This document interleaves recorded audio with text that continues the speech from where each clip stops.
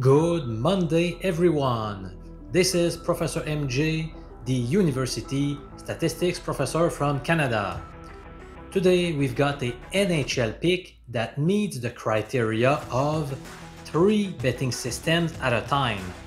If I had to grade it on a five star scale, it would get five stars.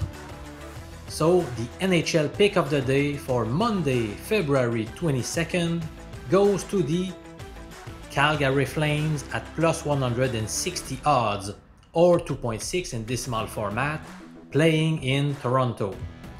The implied probability of such odds is 38%, which is obtained by calculating 1 divided by its decimal odds, 2.6.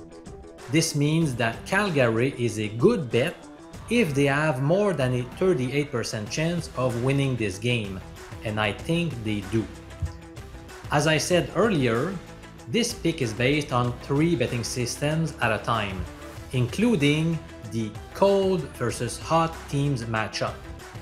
Based on historical data, it is a sound idea to put our money on a road team coming off at least two straight losses when facing a home team coming off at least two straight wins. This system is applicable only if the road team's money line is better than plus 125. The return on investment of this strategy is about 10%, which is pretty good. So in the case of tonight's matchup, the Flames are undergoing a three-game losing skid right now, while the Leafs have picked up three consecutive victories. Also, the money line is clearly higher than plus 125.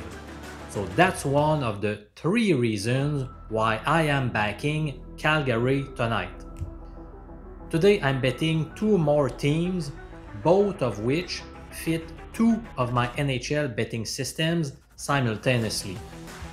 Those other two picks are available to those of you who signed up on my Patreon page. I'll be back tomorrow for my birthday and I'll have another NHL pick for you. Have a great day, man.